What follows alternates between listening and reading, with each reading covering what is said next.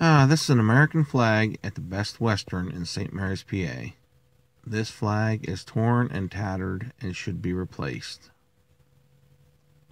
and disposed of properly. Best Western, get on the job.